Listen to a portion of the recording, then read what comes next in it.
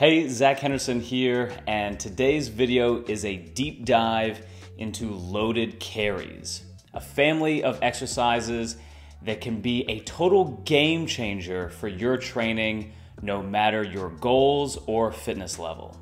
True to its name, a loaded carry is any action where you support an external weight and move it from point A to point B. I think one of the ultimate tests of true functional fitness is moving yourself into a third floor walk up apartment. Ask me how I know. You'll need the grip and total body strength to carry furniture, the balance and stability to walk backwards up a flight of stairs, and of course the endurance to do it all day. Training loaded carries is what's going to give you this kind of work capacity and will improve your performance in practically any exercise or sport. The best part is loaded carries are accessible to nearly every trainee and there's really not much technique to learn. As long as you can control your breathing and your posture, you're probably doing it right. There are tons of loaded carry variations to try, and each combination of the type of weight you use and where you carry it is going to present unique benefits and challenges. So let's take a look at some of my favorite carries and then we'll chat about how to program them for best results. First up is the classic farmer carry where you'll hold a weight in each hand. You can use dumbbells, kettlebells, plate loaded farmer bars, or even a trap bar to really push the weight. The farmer carry is tremendous for building grip and forearm strength, as well as size for the traps, shoulders, and arms. The single arm version is called the suitcase carry. The asymmetrical load will help target the obliques and overall core stability. Think of this as a walking side plank. To really hit the shoulders, you can take your carries overhead. Two hands on a barbell or plate is fine, but most of us could use more stability, which is why I suggest independent weights. Holding one arm overhead is called the waiter walk, and we can amp things up by adding a suitcase on the other side. Coming back down to shoulder height, we get the rack carry.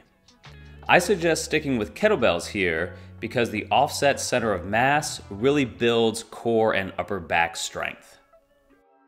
A more beginner friendly option that only requires one kettlebell is the goblet carry utilizing the same grip from the goblet squat. Hold it away from the chest for a greater core and back challenge. One of my all-time favorites is the bottoms up kettlebell carry. I have an entire video on the benefits of bottoms up training, but suffice to say, this variation hits the grip, shoulder, and core in a way that the back expert himself, Dr. Stu McGill, really likes for low back health. Now let's check out a couple of sandbag specific carries. First is the bear hug carry. Clean the bag so you can hook one hand around the opposite forearm. Think about squeezing the arms together as opposed to flexing at the biceps. You can recline the torso, but try not to overarch through the low back. Next is the Zercher carry, where the bag is held in the forearms and crooks of the elbows. The pec stick can also be used for carries by looping it through a kettlebell handle. Experiment with various heights, distance from the chest, and how close you grip towards the spring. Last but not least is the backpack or ruck walk. Simply load up a pack with a few of your favorite books and hit the road. You can also find specialty packs and weight plates specifically made for rucking. When it comes to programming carries, I typically put them at the end of a workout session because in general, we want to save our grip for the main lifts of the day. I'll often write finishers consisting of 20 to 40 seconds of a loaded carry variation combined with some floor and body weight core work.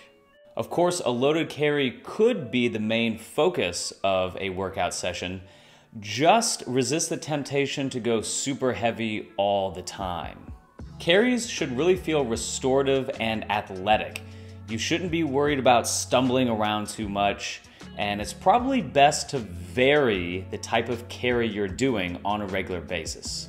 Now, occasionally I will begin a workout with a heavy carry just to stimulate the central nervous system. And while I'm hesitant to give a blanket standard, half body weight farmer carry in each hand for 20 yards or so is a great goal to achieve and maintain. Thanks for watching and be sure to subscribe for more training videos. And if you want to see more on the loaded carry, I was thinking about making another video showing you more training ideas and maybe even throwing down some carry challenges.